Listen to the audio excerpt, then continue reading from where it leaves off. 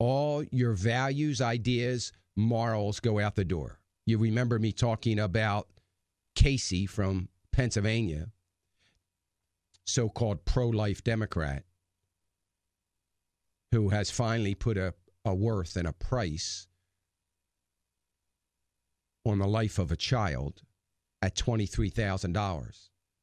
That's what it took for him in a contribution from T- Teva, the pharmaceutical, for the morning after pill.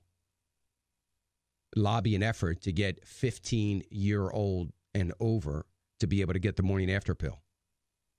He was against it until he got 23,000. So now we know what the value of a of a baby's life is, at least to Casey anyway. Anyway, that just goes under the um, Weasel Wednesday kind of topic.